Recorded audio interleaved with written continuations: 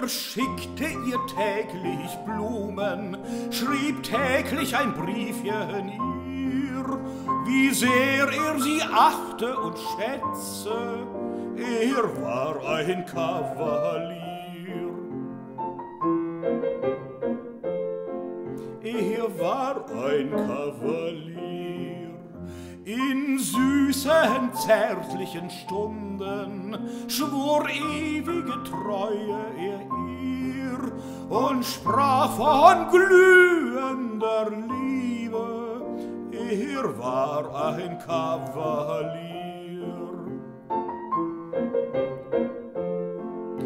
Er war ein Kavalier. Doch als sie ihm alles gegeben, da war seine Liebe zu ihr nur eine traurige Täuschung. Er war ein Kavalier in zierlich gewandtem Stile, gab er den Abschied ihr auf elegantem Bogen. Er war ein Kavalier.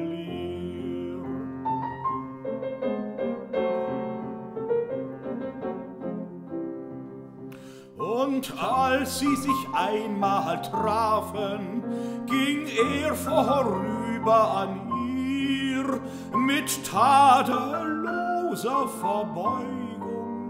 Er war ein Kavalier.